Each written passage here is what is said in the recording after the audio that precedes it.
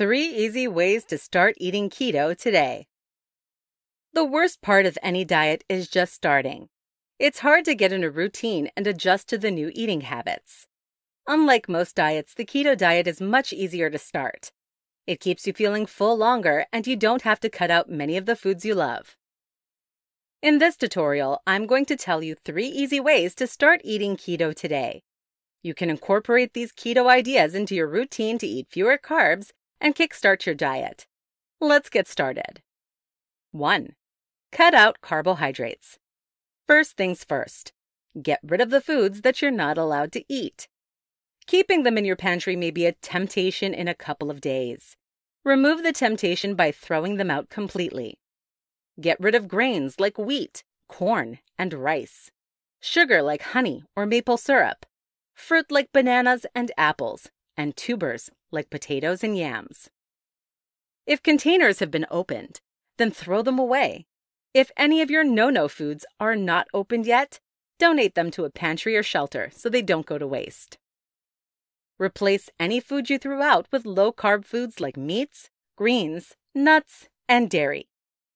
As for fruits, look for berries since they're low carb but still delicious. If you need help finding out what foods you can eat, look online. There are countless extensive lists of keto friendly foods to keep in your pantry. 2. Find a keto recipe book. One of the best parts about the keto diet is that you don't get rid of most of the foods you enjoy eating. You still eat steak, butter, and a dessert on occasion.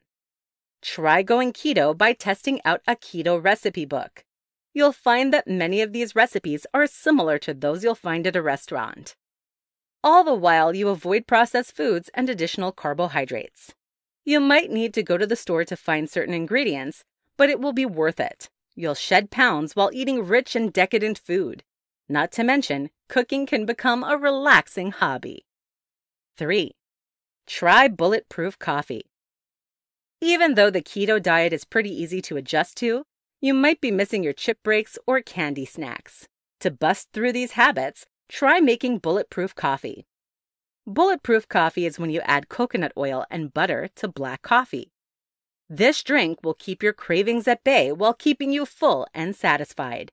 Additionally, bulletproof coffee is a great way to start your day and awaken your senses.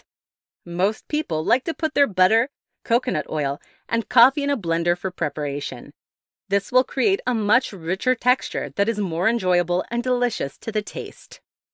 Final thoughts Going keto isn't that hard. It simply begins by throwing out foods that you can't eat.